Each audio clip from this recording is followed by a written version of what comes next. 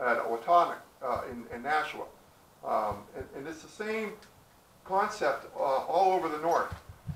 If I don't have beaver pelts, which is the standard number one pelt, it's all based on a beaver pelt. But if I don't have a beaver and I have, he says, two foxes equals one beaver. So he says, two woodchucks. There's, I know there's woodchucks here. I know it. That's the national uh, critter of, of Massachusetts, isn't it? Certainly, it's on the, uh, the Chelmsford uh, coat of arms. Uh, eight minks in season, meaning the thicker fur of the winter, not not the summer uh, thinner, because the animals shed. You know, obviously. Um, you five pounds of feathers. You can you can equate that to one beaver pelt. So five pounds of feathers for the feather beds. They would trade them in these big feather baskets and bring them in. Um, you can actually get feather baskets still in the uh, antique shops. Four seal skins is one beaver. One moose hide is two beavers. So there's this thing on the frontier. But what do they do with a beaver? Why is the beaver number one? So what we're going to do is show. This is when you when you catch a beaver, you skin it, you dry it, uh, you wash it, and then as it's wet, you stretch it on this on this hoop. So there might be 20 of them around your camp just drying. It'll take a couple days. They're dry. This is just cardboard. It's a pizza box. That's all it is. Because they don't want that. They just want the fur. So what they're going to do with the fur, so it's dried like that. Now, our people could, of course, the women would certainly be able to soften the animal skin by, by as it's drying, if you soaked it in the animal brain, believe it or not, has oils and um, uh, proteins. And as it's drying, it's doing this, and it's breaking it. So as by the time it's dry, it's pure white and and softened because we, we just stretch it. There's a, a, a dozen ways that you can do that, but you can do it around a tree or around a rope that's stuck to the ground. Any way you can do it. Have two people have tug of war, so you can break this fiber down and make it into a soft leather. Likewise, a deer skin, as you remove the hair, it's just the leather, and you can make it into what I'm wearing is, is just garment leather, just leather, no hair. But when the animals have a fur, you want to keep fur. So like a bear skin or a, um, even a moose robe, I suppose, but that is treated like a deer usually. Um, but this, this, the softened leather is, is, is made into, it's smoked. So they would, they would uh, smoke it uh, golden color. So when we get that, that um, buckskin leather and it's kind of got that, that gold color, it's an imitation uh, attempt to harken back to smoked animal um, Indian brain tan leather. That's really what that is representing. Otherwise, leather is white. It's pure white, but it can mildew, so you have to smoke it. Plus, when it gets wet and dries, it'll turn into a piece of cardboard, and you're not getting that. You're not getting that back. But if it's smoked, it adds more oils back into the leather, and the more smoked it is, almost to chocolate brown sometimes. I remember going to Alaska, and when I saw the Athabascan ladies dance by, they all had these dark chocolate brown uh, uh, dresses. Your eyes would almost water. It was so, that brain tan smell of that smoking up there was really more than any place I've ever, but you know, when we have these hides, you open the trunk and you're like, woo, because some people can't deal with it. Some people love it. So they got a, they got a brain tan hide and they're making moccasins for uh, reenacting like, like we do. Um, if they have an apartment, their whole their whole apartment smells like um, like it's like a smoke camp. But um, some people like it, some can't stand it. Maybe it depends on the type of smoke. So rotten birch bark or corn cobs or whatever you you use or your family would would know. You'd go, that looks like Blackfeet or Athabascan leather. You can almost tell. I could tell if he held one up in the back. You go, where's this from? I go, Saskatchewan. It's like, yep. I might even know the family just by the color of it. I mean, some of these people today, there's not enough of it out there so that when you do see it, you can probably tell the source. Pretty funny that way. In the old days, everybody did it. But the more you smoke it, the more, uh, and then you sew five, eight of these together, and you make a beautiful robe. Okay? So he's gonna, uh, and I only need so many for my family. Each one of us gets a new a beaver robe, and um, so on. But really, what they're going to do with it in Europe is everybody can see. So there's two hairs. One is a long guard hair, and one is the, sh- the soft wool. They call it in French the laine de castor, the wool of the beaver. So under a microscope, you can see my kid's microscope. Microscope, science project, A. The thick one is the guard hair. Thick one. And they throw that away. They're gonna, they're gonna pluck, they're gonna pluck that away to certain craftsmen. And the other ones you can't really see it, but on this one, you could see barbs, like a rose thorn. And you can see that clearly under this one. This is the wool. It has uh, barbs and hooks on it. So when they, uh, and come, please come up, we have a whole hour after the talk, you can handle all this stuff. They're gonna make something with that. They're gonna make a certain product. What could that product possibly be? I can't, for the life of me, think what they're gonna do with beaver fur. What could they possibly, uh, gee, I wonder what that thing could be. How, what could it, it is, hat, yes. It is a hat. It's a felt hat. Best cowboy hat today. Charlie One Horse uh, Stetson will say the number of uh, beaver that are used, not a percentage so much, but the number of beaver apparently that's used, and it'll say right in the rim. So the beaver felt hat, the, the rims could be, the brims rather, could be this wide, and they're very strong, and they'll last 40 years.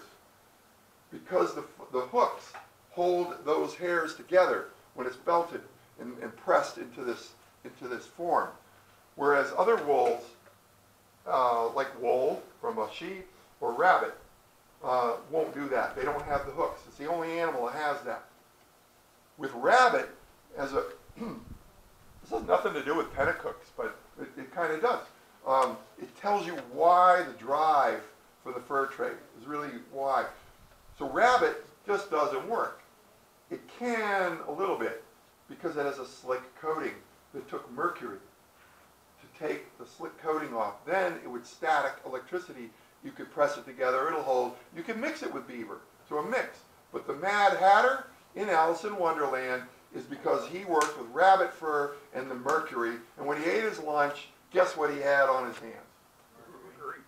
Beaver felt? No. Mercury. So the Mad Hatter caused insanity, nerve. Uh, anybody a doctor here?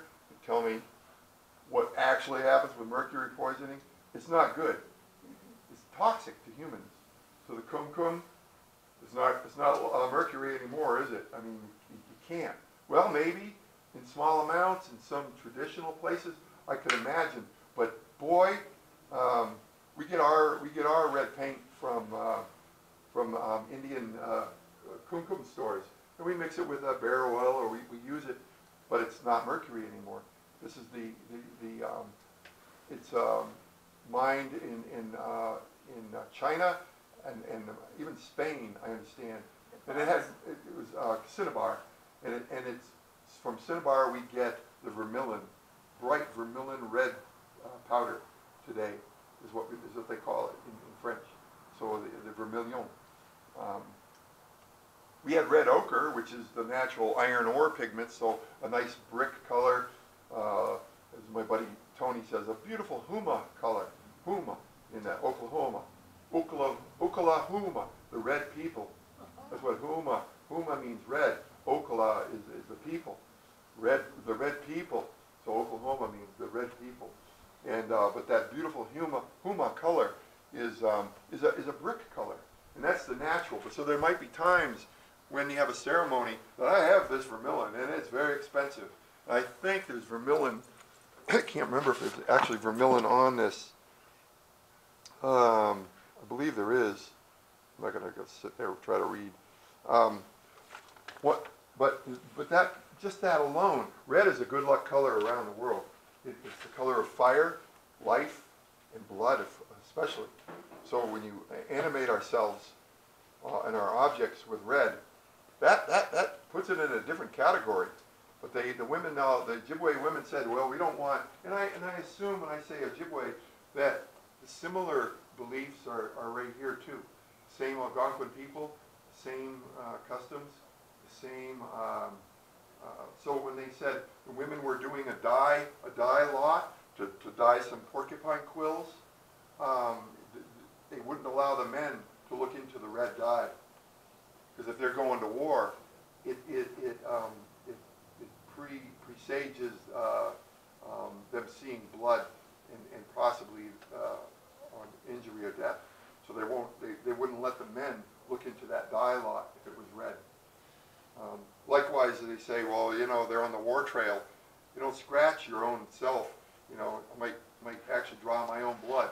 Now, if I'm going to draw my own blood, imagine what the enemy's going to do to me. So they give them a little stick. So I actually, technically, I'm not drawing my own blood. Um, If I scratch myself from a mosquito bite, mosquitoes, right? So, but they give them a little stick, and they probably carry it right in there with their knife. So, like, you're talking about native, native thinking. This has got nothing to do with the Europeans. Zero, zero. There is not one, even during the wars.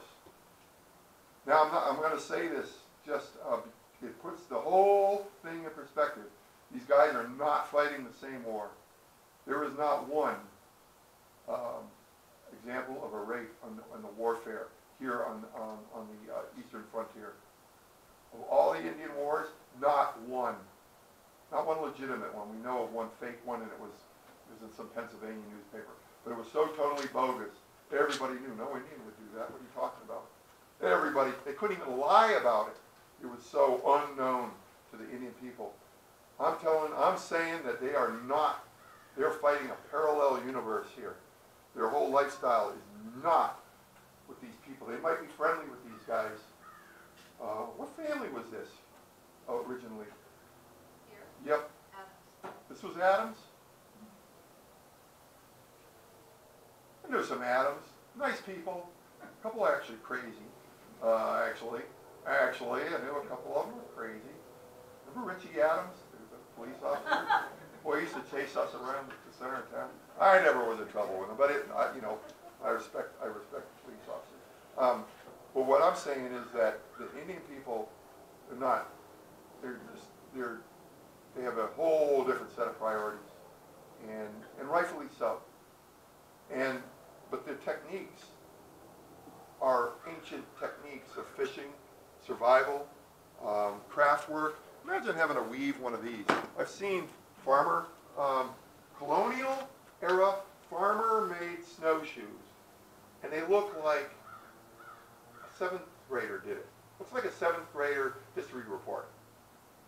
Perfectly good for walking over to the barn to milk old Betsy the cow, but not for going 300 miles north through the, through the wilderness to Quebec City, or come down from Three Rivers or Quebec City, raid here, and then return with prisoners on snowshoes.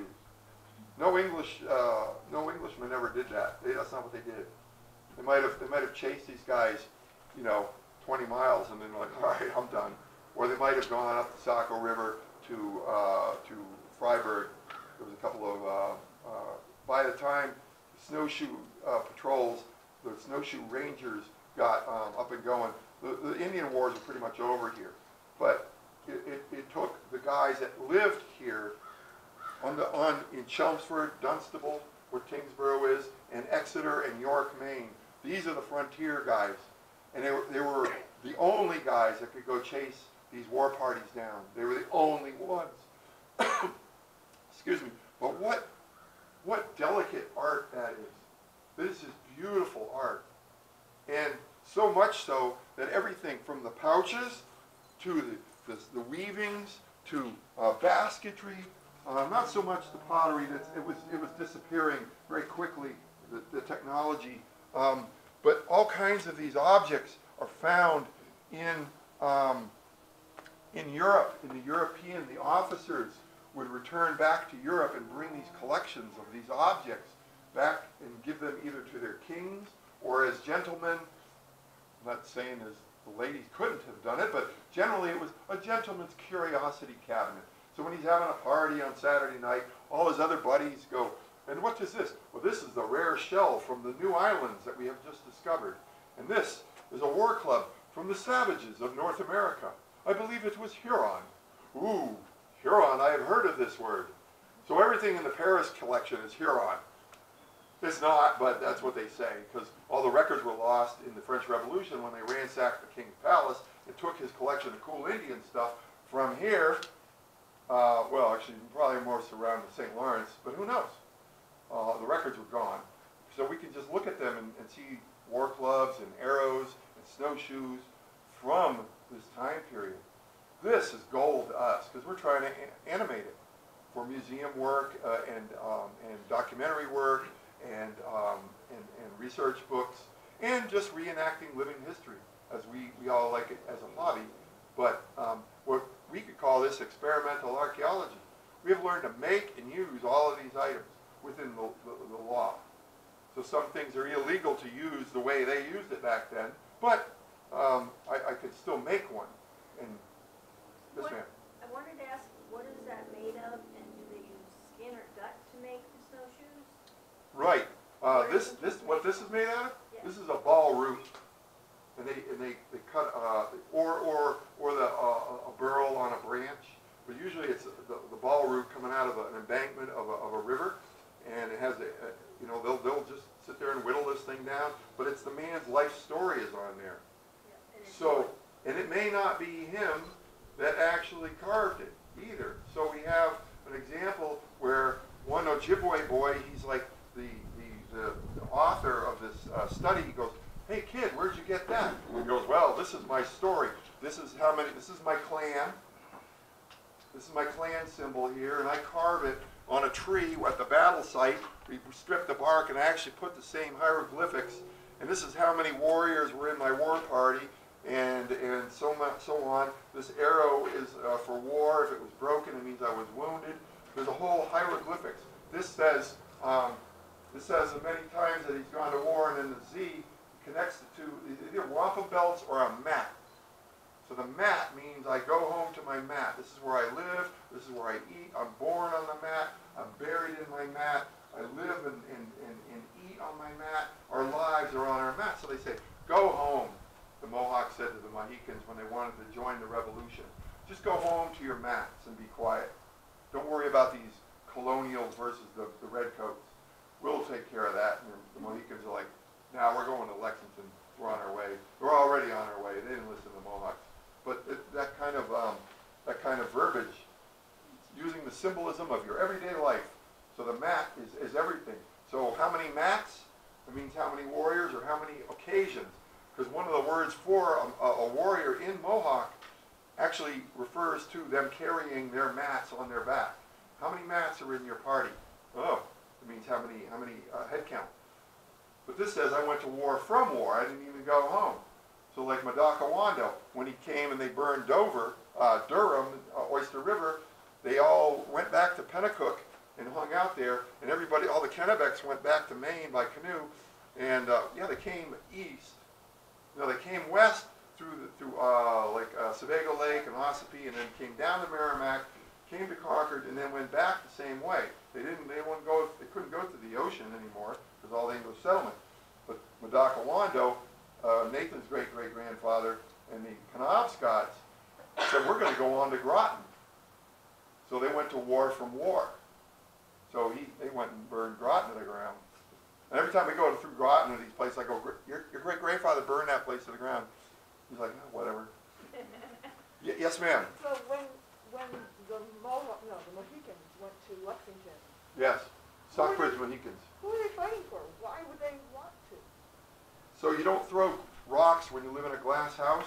You're completely surrounded by the English settlements in Albany and Massachusetts. Everything you depends is on them. You have no zero connection with the French whatsoever, other than occasional. You might hunt up near Otter River in Vermont. That was the limit of the Mohican hunting territory. But really, um, as they said in the records, I'm I wouldn't make that up. So I'm not. You can ask me how I know anything, and I'll tell you how I know it or why I believe such a so that's important. I'm not just, it's not just my opinion. I actually have a reason for when I say that. And by the way, this is just the leather. So if I, if I, if we took all the hair off of a deer skin and made it into parchment, just, just cardboard, no hair. You can, what was that, a biblical story where he says, if you, if you, you can be, um, how did that go? If you can, if you can cover, ha ha ha, this city with this, uh, ram skin, then um, you can marry the, the king's daughter, or you can be king, or whatever. You can claim victory. So what they did is they just cut a cord around and around and around and around, and you just make an endless cord.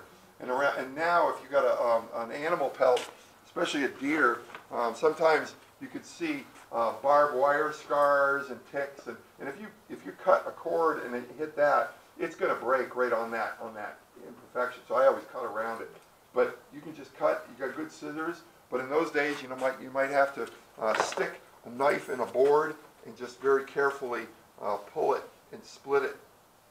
And they were good at it. And those women would, would, would uh, that's all this is, only wet it. And there's different scales of it. So very thin. So it's not gut. Uh, they have that also. This is just uh, the animal skin. And this is just happens to probably be, well, up north they, they figured uh, caribou stretches less than deer skin when wet. So that's important. When these things get soft and wet, soft and wet, they, they tend to stretch. But um, um, this, I mean, this is certainly just deer. Um, uh, it could be moose, I guess, but you know they did notice the difference between different animal, the, the qualities of different animals had, you know, in different conditions. Like the caribou retains its uh, strength when wet. That's just the thing that you would need to know if you were living out in, you know, in that area. Um, so uh, the, the were during the colonial wars were in this no man's land. They've been cut off by the ocean by settlement, so they couldn't go down to the ocean anymore. So they're really they're living at Wamesit on that hundred acre island, just like you know, just they're disarmed. They, they got some corn growing. They're, they're in starving condition. The colony uh, uh, promised them to, to support them. If you guys will do some occasional scouting for our militia groups or warn us of an attack, which they did, which they did, and they were going to go to Waldron. They were on their way to Waldron because they got uh, two Pennacooks came in and warned Hinchman and, and the commander here in Chelmsford. He sent a dispatch all the way to Amesbury, and he was going to warn Waldron, you're going to get attacked in the morning. Meanwhile, Waldron's entertaining everybody in his house. Oh, let the poor, the poor creatures sleep by the women. It's like, Major, there's an awful lot of Indians in the neighborhood. They're here to trade, they say, trade. But um, the women want to come in and sleep by your fire in your in your uh, in your great room. You can go over here to the to the to the house, and you can see by the great uh, fireplace that was the great room. And everybody's, you know, that's where travelers would sleep, you know. And um, he's like, yeah, let the poor creatures sleep, he says. Um, and um, and then she's one of the women said, and this is the it's written. She said, so I got to go out and use the facilities. How do I open this gate? Because they were all palisaded. It was a garrison. And, uh, well, you just unlock it here and open it. She's like, oh, okay. Like in the Trojan horse story. Like, okay. So she just let all the warriors in and they killed Waldron. They did some very nasty things to him. Because he was a rat-fink jerk, murderous jerk. And they never forgot. And that was Waldron. But not so with Chelmsford. Chelmsford had a love-hate relationship but yet just never really it was probably good enough that they, they just weren't I don't know. It's worth looking into. Why why not kill? There's a couple of real good characters here that probably I'm surprised weren't killed. Um, but uh, the, the were a dwindling tribe. And maybe that might be the bottom line is that, that they were just uh, dwindling in numbers old Wanalancet and just a handful of people living at Wamesit. And uh, the rest of them were like, have none of this. They, they had, and even Wanalancet himself had gone up to Chambly, Quebec to, to stay. So when he, he, uh, he came back to Tyng uh, to live out his days and, and beg that, um, beg that he uh, um, could stay in his homeland, he's buried right, right there where the Tyng Mansion was. He's buried somewhere right there probably below that rock, there's a ledge right there. Dr. Wang bought the, the property, and they ripped the Tyng Mansion down, where it mysteriously burned, and, and well, what a historic site. The, the steps of the house is still there. The steps. It's, it's a landscaper. And if you move that step, you probably find a king pine tree shilling underneath there. Because that's what you do. You put a, you put a coin under the front step of a, of a, of a, of a house for good luck. All these colonial houses, Oh, yeah. Um, this is a capote, a French capote. So it's, it's a nice garment weight. It doesn't have to be this big, heavy duffel blanket, but good for mosquitoes. It's good for, uh, you know, a sash, put a sash around that. But this Wanalancet had been so used to seeing, having one in Quebec that he had to get permission from Tyng. And it, Tyng wrote it to Boston. You're like, uh, I don't know if he didn't know what it was, which I can't hardly believe, or he was getting permission to get funding to buy one, have one made for, because he, he wasn't gonna give Wanalancet anything, he was gonna sell it to him, or get paid by the government for, for having this old guy living there. So I think he lived there three years with Tyng. But this is, this is one of those very French objects. This is a very French, um, thing. The English don't, don't use these things, they don't know what they are. It's a sailor's garment, really, the galley slaves on the Mediterranean wore but they were brown, because in case they escaped, it's like wearing a striped, uh, prison outfit. So the brown capote, oh yeah, he's he's a escaped galley slave. But here, this is perfect for, for the wilderness for us, perfect. This is one of those things that just kind of entered into the, into the, um, into the, um, uh, into the culture. Now, this, I wanted to show this because it's kind of cool. Believe it or not, I, I, I do have forty of these. This is hardtack, ship's biscuit. Has the King's broad arrow. It's, it's the Royal Navy. So the French have, and they capture it at sea, but they had barrels of these things. And they would give them out to people, to war parties, to uh, militia companies, to uh, ships' uh, crews, and it's just like, he only had one tooth. This, this would just, this would break that tooth. You know those guys had great dental uh, Yeah. hygiene.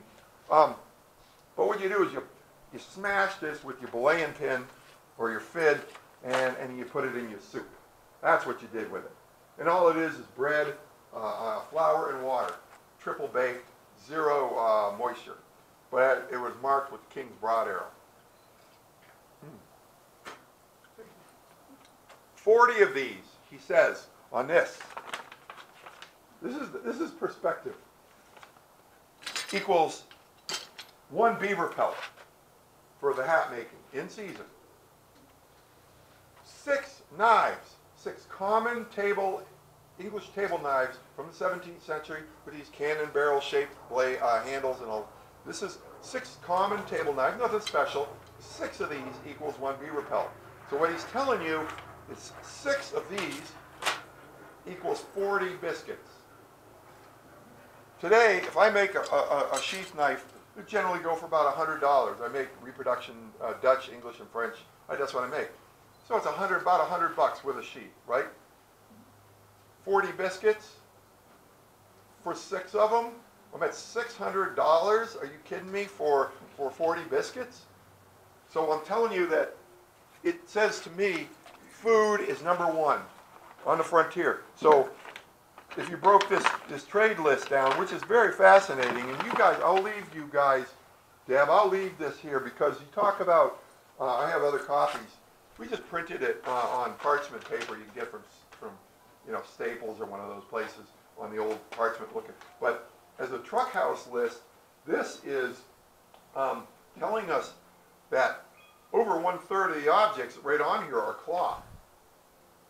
Another another fifth uh, third is food: corn, Indian cornmeal, flour, uh, barrels of pork. Um, yeah, that's what they were eating. Um, not very good. Made everybody sick, but hey. Um, you also had um, um, alcohol is not on here. Tobacco, four pecks of peas, one beaver skin. Five pecks of Indian meal, one beaver skin. Five pecks of Indian corn. Now, a peck is what? How many pecks in a bushel? Two? That's quite a lot, actually. Wow. But then two yards of cotton. Cotton is a new thing. Cotton is not normal. It's, it's a new it's a new product. Comes from India. Um, in the calico, Calicut, India, Calicut, India. So these are printed or striped, um, or just plain cotton at that time. But it was experimental here and a new, a brand new thing. So some places want they want the linen trade.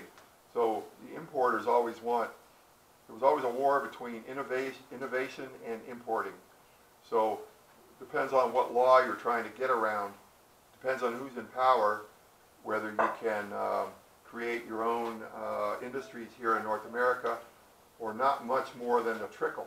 If you wanted to go full blown into a, an in- industry, the mother country, some, some sheriff would show up and fine you and, and have your place shut down or locked down. That's just how it was.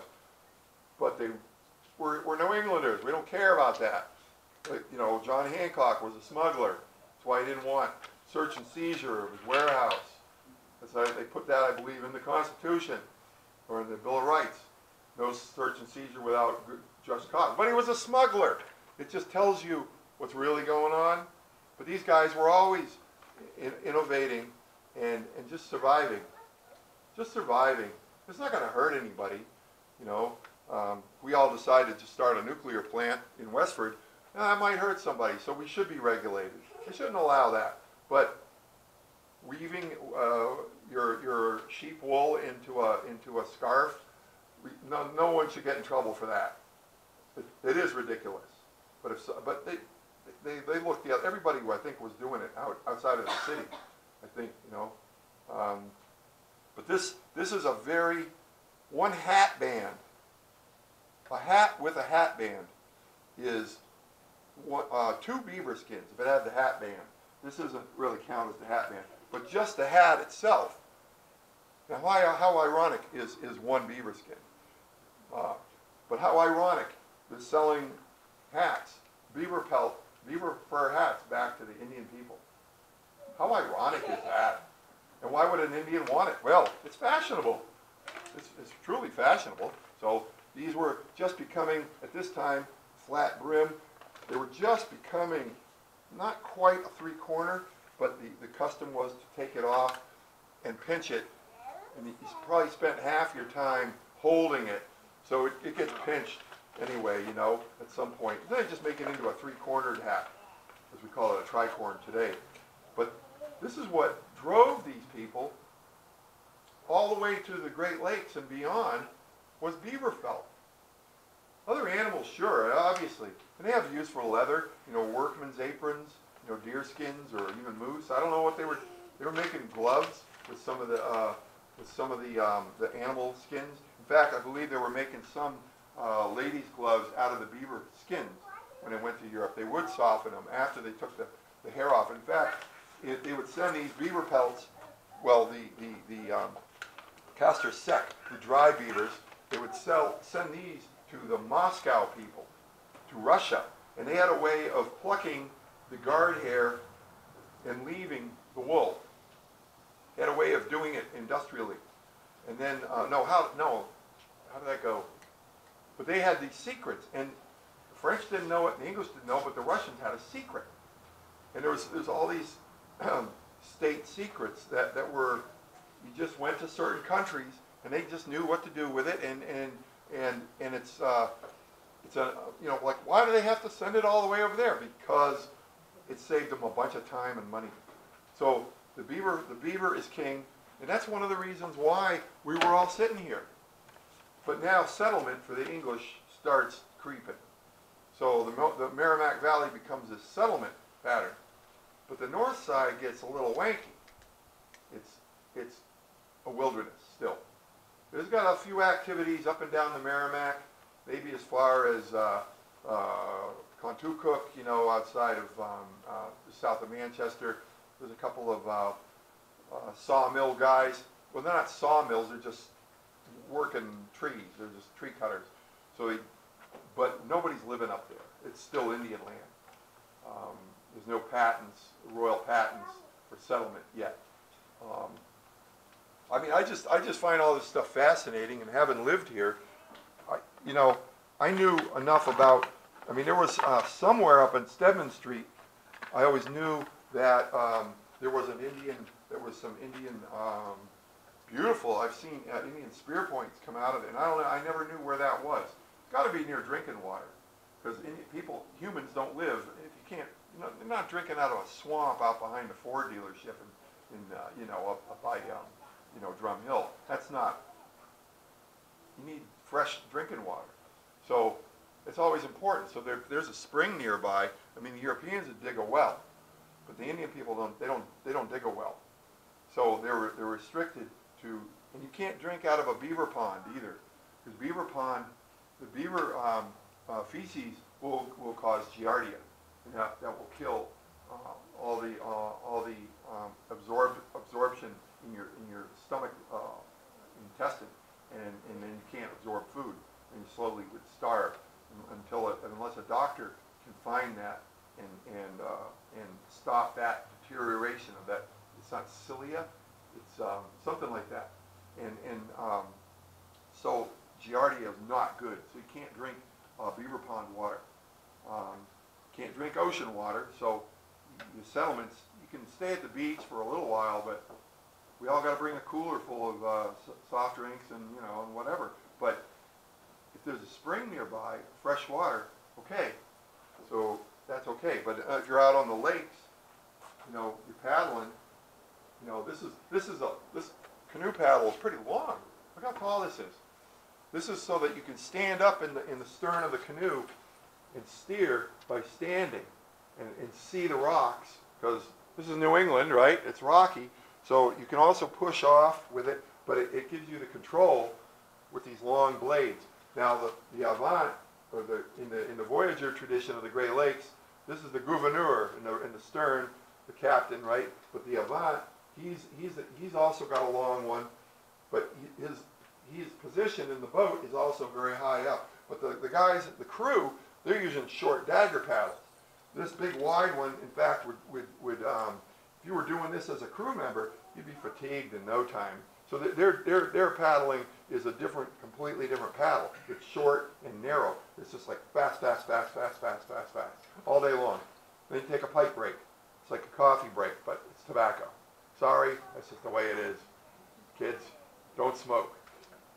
And that's in their contract, as a matter of fact. And they, they would always gauge how, how long a trip was by canoe, how many pipes. So uh, Crown Point up on uh, Lake Champlain is uh, in Bulwagga Bay. So it sounds to me, in that my ear, it sounds like the uh, Algonquin word Powaggan, pipe. Like, in other words, the final pipe, that's our destination, which was in fact, at, for the most of the time, that was the final southern French uh, advanced post. The next one they built was Ticonderoga, 15 miles to the south, but that was still um, 30 years away. So Bulwagga, Bay, it always sounded to me like that was um, like Sheboygan, Chi Apwagan, big pipe, the big pipe, the final pipe, the end of the, tr- the trip. So Cheboygan, Michigan, Sheboygan, Wisconsin. That's what it sounds like to my, to my ear. But Bulwagga Bay, I have no doubt in my mind that that was relating to the, the pipe smoking culture, which these guys did. I mean, they, they grew they grew squash, they grew uh, tobacco, they grew um, uh, corn, they grew um, and beans. You know, the usual the three sisters, obviously, but seasonal food. You got to go where the fish are. You got to go uh, fall uh, winter hunting. Um, can't wait for the winter hunting because um, you can see the tracks easier. You could, you know, you get a you shoot a moose now that that meat's going to turn rancid really fast. It really, it really does turn uh, yellow in a day. Same with bear meat. You know, I mean, if you can get, if you can skin it and, and smoke, get it smoking fast. Yeah, but um, um, so you got to know your you got to know your uh, your uh, animals, and you got to know what what those things do, and uh, um, so if, if you're eating uh, if you got bear grease and you mix it with your paint and you put it on on your our bodies, face, mix it with paint or not, it, it, it, it prevents the cold. It's like a, those, uh, you know, they swim the English Channel and they grease themselves up with Vaseline so they don't get uh, ther- hypothermia. Well, bear grease works like that. Um, and uh, just oil, the bear oil, which separates from the grease, is two, basically two different products. It's clear, it's odorless, it's, it's excellent to cook with and, and, and all that kind of thing. But you can use it for a little bit of waterproofing uh, and that kind of thing. But the um, the um, the oil, the mosquitoes just don't like to land on it. Doesn't have to be. You can mix it with some other root or something, but it is not necessary. They just don't like the oil. They don't, just don't like landing on oil surf- surfaces. Um, but I always wonder in the back of your mind if an Indian would say, it has bear energy as well. Because I know I would. I'd be thinking as I'm eating it, like, you know, if I really want a shot of something, I'm like, I'm gonna have some venison tonight. I really need some venison. I really, you know, you know, I've had how many, how many hamburgers, how many pork roasts, Nathan, what, he hates curry, I love curry. But, um, you know, but when I get out the, the, the, the venison, I'm like, you know what? I really, I really need this right now. I know that deer, you know, got the, had this thing. And, uh, so to me, it's an intimate world. And I'm just, I just, I just touch it once in a while, you know. But if, if we live that way all the time, for 24/7, for thousands of years, couldn't, uh, we wouldn't know any different. We would just, it's like that's the way it is. Those people are crazy living in that big house. You know how much firewood they use? They said, uh, smart Indian make small fire and get close. Uh, European make big fire and stay away from it. That's a, that's a, a, a joke, but you know what? There's some truth to it. I mean, I understand the cooking techniques and the, the, uh, the way of life is, is a whole different ballgame. It's a, it's a completely different um, set of technology and knowledge and, and, um, and techniques. But it's also based on the, the, the domesticated world that the Europeans are coming from. Um, but here, these guys, I bet if you dug around here, they would find augmented uh, wild game uh, bones. If you found their, their midden site where they, their trash eat, find deer bones, I bet. Snapping turtle parts, I don't know what, uh, woodchuck, certainly woodchuck parts. Because they do in other places, and they note uh, codfish bones, or they note, um, as they do with the native uh, village sites. And that's a lot like we, we do know. I mean, to the smallest animal, because any food is, is, is good food when you're starving. And these guys are starving. This is, you know, imagine this place under six feet of snow, and, and uh, where do you eat if there's no food? So if you see a mouse, okay, it's something. We'll make a whole soup out of it. We'll add some stones, and we'll have stone mouse soup. And, and at least we'll have some broth. And if we had some, uh, some uh, ship's biscuits, or if we had some uh, parched corn, anything, anything. They were, uh, was it Radisson, when they were in Wisconsin, he, even with the native people he was with and up on the Lake Superior uh, camp they were at, they went out and dug up the bones of some deer and then pounded the bone into a, into a meal and then boiled that just to survive. It's just to live another day is the whole, that is the whole philosophy of the whole thing. Live another day. If, if we're all here, we got one deer, that deer is going to be gone tomorrow. So eat up, everybody, all our relatives will eat now. Some left, I doubt it, but we'll eat it all now. We'll share. None will go hungry. In I, we will go hungry before you guys go hungry. We'll make sure you eat. We will absolutely, because we're going to go hunting. We're going to go hunting. We'll go get a deer. He's going to sing his magic song. He's going to play his magic drum, and I'm going to dance, and or I'm going to I'm going to do whatever I got to do. I'm going to burn something or sacrifice something. We will we will make we will say those holy words, and we will go and do this thing. You guys will eat. But some of the stories said the women, and this is general around the world. I'm, saying, is this Pennacook? Oh, maybe not. But it's it's typical all over the northern Indian world, where the woman might say, "No, I want you guys. You have one steak left. Each one of you get a, a morsel, or maybe take it all. We'll be fine. We're, we just got to feed the fire. Yeah, you know, we'll, we'll boil up a couple of uh, moccasins. How's that? But you need the energy to go get that moose. So maybe it's like that too. So it's whatever. Uh, but but both sides, I've heard both of those sides. And one of the cool stories I always liked was um, is um, uh, so the women, three Indian women are coming down a trail, and they got a kettle. This is a brass kettle, great trade item. Beats one of these, right? It's beautiful and as traditional as a clay pot is, how fragile is that in a canoe culture, right? But this brass kettle from the French and from the English, great, indestructible. And I would cut it up, make armbands and arrow points and all kinds of things out of it. That brass would never go to waste if it did get dented and, and broken and cracked and so on. Anyway, so they're coming down a trail, a portage trail. So when you come up and you're in your canoe, as a canoe culture, you come up to a waterfall on the river, what do you do? We're in a boat, do-do-do-do-do, oh, waterfall, rapids. What do you do? Walk around it. You walk around it. You take the boat and you portage. Owenigan is the Indian word. Owenigan, say that. Owenigan. But the um, Owenigans is a little portage. But in French, porter means to carry. So you carry the canoe. So these portage areas can be 50 feet or they can be five miles. Or you can go between watersheds from a lake to another river over a mountain or a hill and then it could be five miles. And in, in uh, Grand Portage, Grand Portage, the big Portage, that thing was nine miles between Lake Superior and I think it's the Mouse River. It, it goes into Manitoba, so it's a far end of Lake Superior. Anyway, these women are coming down the Portage Trail. These three Indian gals. They got some fish. They see some Frenchmen. They're uh, they're at a um, what they call a um, a, um, a repos, a, a rest, a rest area halfway. So they're at a repos, and and so they're sitting there. They got their kettle.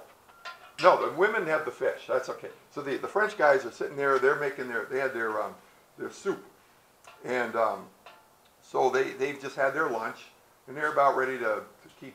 You know, they got their, their trade good bales. This bale on the end here represents any of these trade goods um, packed very well in in in like rolls of cloth or uh, a box of knives, and however they carefully pack this stuff in 90 pound weights to carry around the portages. Um, more Great Lakes than here, but you get the idea. So these guys are just at their at their lunch break halfway. The Indian women come and they go, "Oh, Frenchman, nitagush," the stick waver, remitagush, the stick wavers, meaning the cross that came. They just saw the, the Jesuits waving. so the story goes. So they go, nitagush, hey, can we borrow your kettle? A chaudière, as the French call it. Uh, a, a kick is an Indian, a kick. So they go, sure. And, and get, the French guys are like, look, Indian girls, check it out. Like, sure, sure, sure. Ha, hey, have at it, sisters. So they're sitting there, they're boiling their, their fish, and, and the, the French guys are doing their just smoke, you know, smoking their pipes, whatever. And uh, who knows what they were thinking. But anyway, the Indian girls noticed some other Indians coming down the Portage Trail. Like,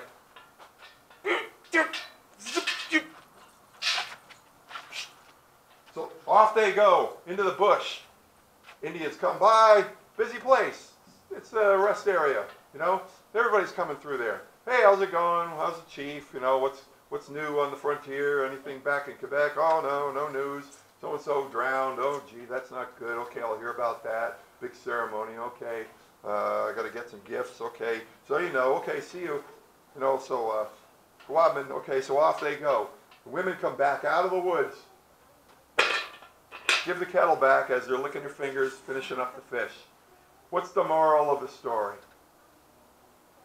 They would have had to share with the other Indians. They didn't have to share with the Frenchmen. Not part of the culture, but they're obligated to share with these total strangers, but they're other native people. You're obligated because sure enough, they're going to be hungry. Guaranteed. But you're obligated to offer it to them, as we would in any of our homes. Who would let somebody, a visitor to your home, go hungry? We wouldn't do it. You know, and I think uh, it's it's um, when we remember. Would you like something to drink? Would you like some coffee? If nothing else, you know, if nothing else. And uh, I, I had a man when I was living at Bartlett Street. I had, I knew a, a Sioux guy, a Lakota. He had come to, to my driveway with a couple of his buddies, and um, he had just he had just, um, in my opinion, hurt a, a nice, beautiful um, Indian girl that I knew, you know, broke up with her kind of thing. And and I just didn't like this guy.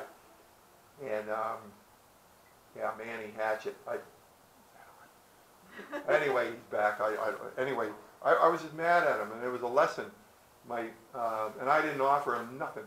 Those guys, and they, they went on their way. And my aunt, I, she later says, she goes, "You didn't even offer him any water." I go, "No." She goes, even prisoners get water. I'm like, she's right. You know, she's right. So now I try to, unless it's Charlie Manson, he's not, I'm not gonna give him anything. But you know what I'm saying is that, um, we're decent people and we should learn these lessons. And, and, and it's, it's basic life, um, sustaining, uh, practices of sharing and, and love, even, and respect if nothing else, for, even for our enemies. Uh, um, so the, the, the kids we hate in, in, in seventh grade, I wish I, I, there's so many things I would, I would, I would, uh, go back in time and fix, like about twenty things I could, I, I keep naming in my mind, I would never do that again. I would, I would, I'm so ashamed of that stupid teenage behavior, because I would not do that now. And, and I would be ashamed if he did it, or, or one of you guys, I know you wouldn't do that.